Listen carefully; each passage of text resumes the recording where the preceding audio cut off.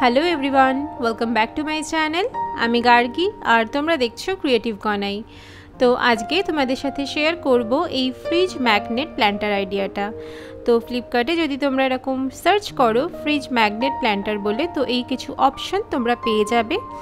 আর এর দামগুলো দেখতে পাচ্ছ ফোর নাইন নাইন সো আমি আজকে এইগুলোকেই রিক্রিয়েট করব but within fifty rupees so without further ado let's get started with the video তো আজকের প্ল্যান্টারগুলো বানাবো কিছু ওয়েস্ট মেটেরিয়াল দিয়ে আর এর জন্য আমি নিয়েছি তিনটে এমটি বটল তো আমি কিছুই ফেলি না, যেমন দেখতেই পাচ্ছ, সমস্ত কিছু রেখে দিই আর সেগুলো দিয়ে কিছু না কিছু বানানোর চেষ্টা করি। আর এই বটলগুলোর ওপরে যে প্লাস্টিকের লেবেলগুলো আছে, এগুলো এরকম করে টানলেই উঠে যাবে। আর যদি কিছু ক্ষেত্রে গ্লু থেকেও যায়, সেটাকে ওঠানোর কোনো দরকার নেই, কারণ আলটিমেটলি আমরা এদের ওপরে কালার করব, তো গ্লুটা ঢেকেই যাবে। অ্যান্ড দেন নিয়েছি এই দশ টাকার কাটারটা এটা লোকাল স্টেশনারি দোকানেই পেয়ে যাবে আর এটা দিয়ে ওই মুখের পোর্শনটাকে কাট করে নেব। যদি নিজেরা না পারো তো বাড়ির অন্য কাউকে দিয়ে এটাকে কাট করিয়ে নিতে পারো। অ্যান্ড দেন বটলগুলোকে ভালো করে ক্লিন করে নেব। তো বটলগুলো ভালো করে ক্লিন হয়ে গেলে এর উপরে ইউজ করব জেসো। বাড়িতে কীভাবে জেসো বানাতে পারবে তার একটা ছোট্ট ভিডিও আছে, লিঙ্কটা এখন স্ক্রিনে পেয়ে যাবে। জেসো ভালো মতো ড্রাই হয়ে যাওয়ার পরে আমি এর ওপরে ম্যাগনেট স্টিক করব। তো এই ম্যাগনেটগুলো আমি অনলাইনে কিনেছি আর এগুলো পার পিস আট টাকা করে পড়েছে।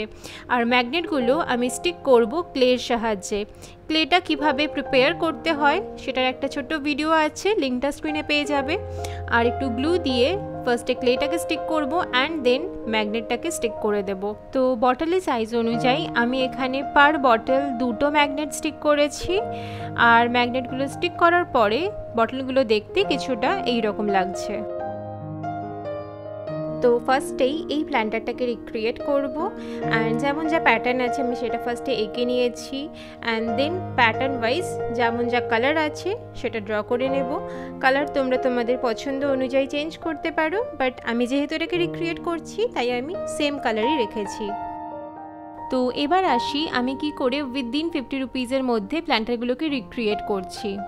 তো বেস হিসাবে এখানে যেটা ইউজ করছি, সেটা একটা ওয়েস্ট মেটেরিয়াল সেখানে তো কোনো খরচাই নেই। নেক্সট ম্যাগনেটের জন্য খরচা পড়েছে আট টাকা করে দুটো ম্যাগনেট ষোলো টাকা। আর দোকানে যে পঁচিশ টাকায় ক্লে পাওয়া যায়, সেই ক্লেটা দিয়ে আমি তিনটে প্ল্যান্টারে মোট ছটা ম্যাগনেট স্টিক করেছি অ্যান্ড তারপরেও কিছুটা ক্লে বেঁচে গেছে। তো তোমরা বুঝতেই পারছ পার প্ল্যান্টার কতটা করে ক্লে ইউজ হচ্ছে। তাও ক্লের জন্য আমি ধরছি আট টাকা করে পার প্ল্যান্টারের তো আট তিনে চব্বিশ টাকা আমার খরচা হয়েছে এখনও অবধি। এখনও ছাব্বিশ টাকা পড়ে আছে। আর এই ছাব্বিশ টাকাটা আমি রাখছি কালার আর জেসোর জন্য। আর যদি কেউ ভার্নিশ করতে চাও, কারোর কাছে যদি ভার্নিশ থাকে, তো করবে, না থাকলে না করবে, কোনো প্রবলেম নেই।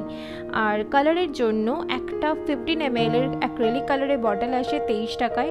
আর একটা বটল কিনলেই যে তোমার সেটা পুরোটাই এখানে শেষ হয়ে যাবে, তা তো নয়। খুব জোর বলছি, দশ থেকে পনেরো টাকার কালার এখানে ইউজ হবে।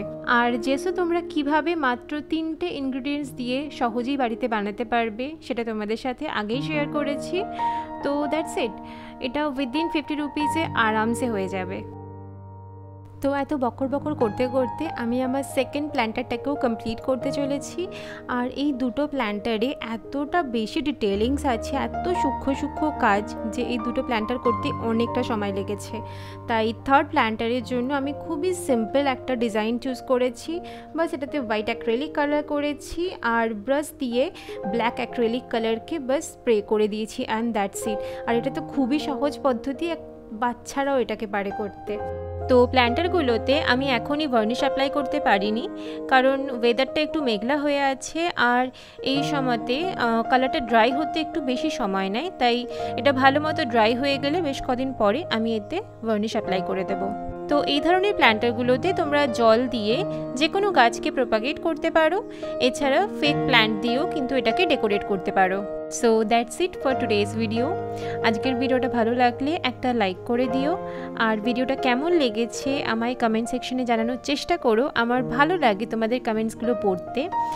আর যদি ভালো লাগে আমার ভিডিওগুলো দেন আমার চ্যানেলটাকে প্লিজ সাবস্ক্রাইব করে নিও। আরও নতুন নতুন ডিআইওয়াই ভিডিও দেখার জন্য। তো দেখা হচ্ছে নেক্সট উইক নতুন ভিডিও নিয়ে। Till then stay happy and healthy thank you